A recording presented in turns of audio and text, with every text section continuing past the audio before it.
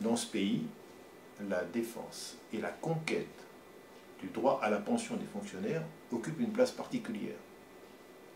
Dans la lutte de classe, les batailles pour le droit à la retraite sont jalonnées de l'unité entre le public et le privé pour la reconnaissance du droit à la retraite. C'est dès 1790, avec la Révolution française, qu'a été institué le premier régime de retraite des fonctionnaires. Droit qui a ensuite été constamment amélioré par la reconnaissance du livre de la dette publique dans lequel chaque gouvernement sait qu'il doit continuer à verser des pensions à tous ces vieux fonctionnaires. En 1853, fondation du Code des pensions civiles et militaires. Très important. Le droit à pension est inscrit dans le statut.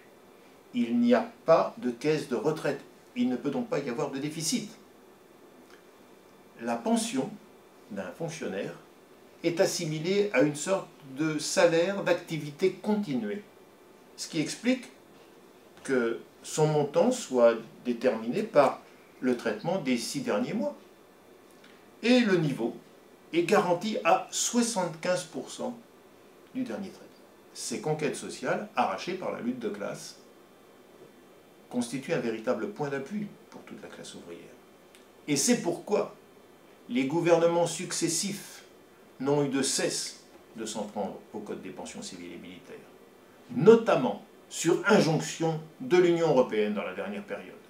Relevons le cas du fameux Juppé, prétendument droit dans ses bottes, qui en 1995 se fixe de créer justement une caisse des retraites, mais devra rapidement reculer devant la grève générale.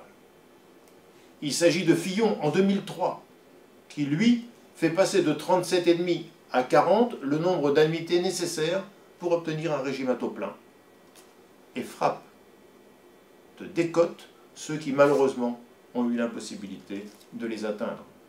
Il s'agit ensuite de Sarkozy en 2010, qui fait passer l'âge de départ à la retraite à 62 ans, suivi de Hollande en 2015, trois ans plus tard, qui lui monte à 43 annuités le niveau de la barre pour obtenir cette pension à taux plein.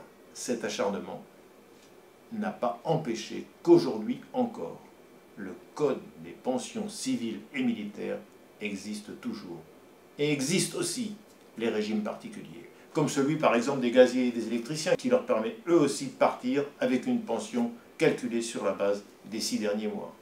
Existe toujours la CNRACL, la Caisse nationale de retraite des agents des collectivités locales, 2,5 millions et demi de cotisants, 1,5 million et demi de pensionnés. Et existe toujours la reconnaissance de catégories actives permettant aux travailleurs exposés à des tâches particulièrement pénibles de partir plus tôt. C'est ainsi que 47% des hospitaliers sont partis en retraite l'année dernière sur la base de la reconnaissance d'appartenance à une catégorie active.